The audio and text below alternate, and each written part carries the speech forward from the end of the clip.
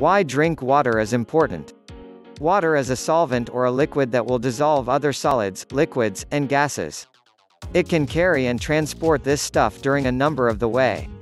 Two of water's most vital roles are the very fact that water transports nutrients to cells and carries waste products far away from cells. Thanks for watching, my name is Yulio Vargas, welcome to my channel, hit the bell icon, make a comment, thanks. Within the presence of water, chemical reactions can proceed once they could be impossible otherwise.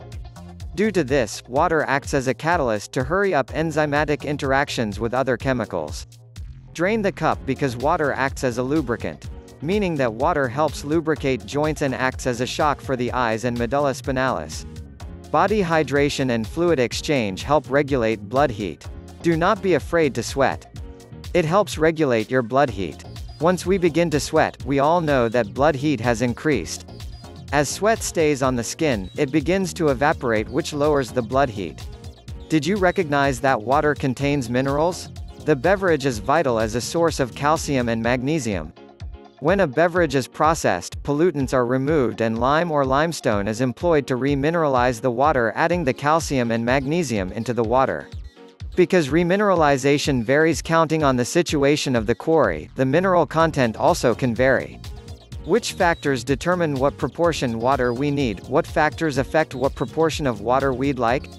All of the subsequent help determine what proportion of water we need to require in Climate Warmer climates may increase water needs by a further 500 milliliters 2 cups of water per day. Physical activity demands more or more intense exercise would require more water. Counting on what proportion exercise is performed, water needs could double. How much we've sweated, the quantity of sweating may increase water needs.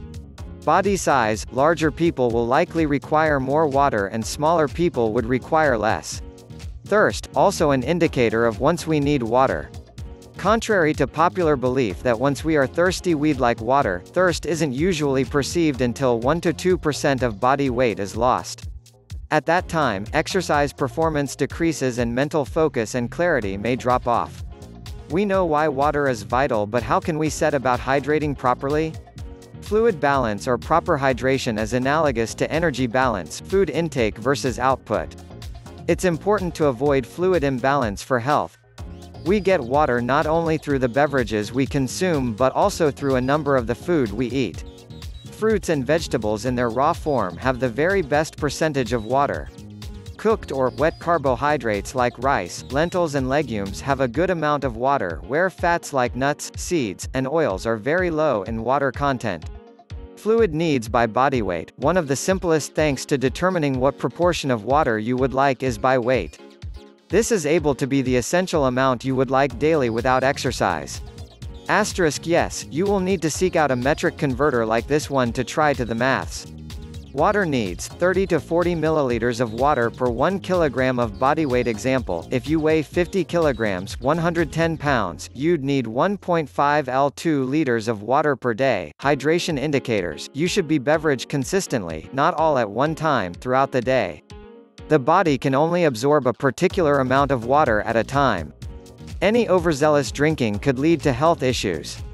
Thirst. As stated above, if you're thirsty, you're already dehydrated.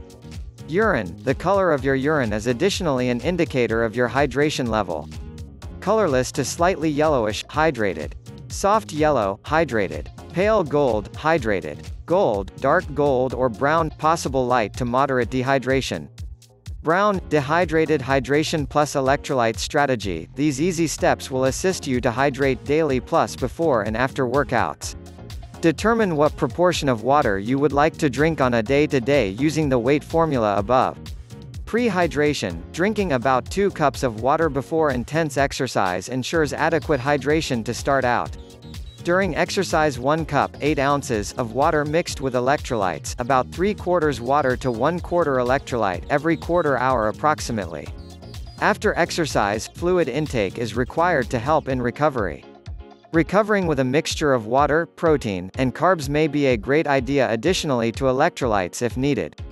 Formula, approximately 15 grams of protein, 30 grams of carbs, electrolytes, and water. Thank for watching, blessings.